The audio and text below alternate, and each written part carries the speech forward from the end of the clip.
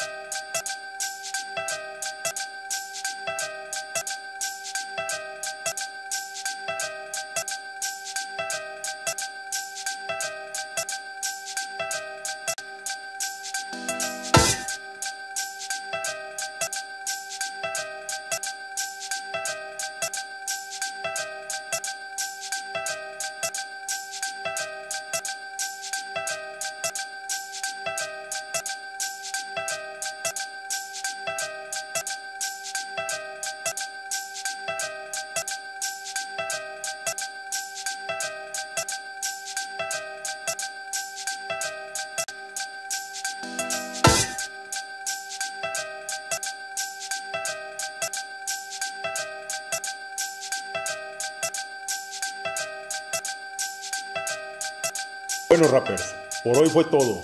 Nos vemos hasta la próxima.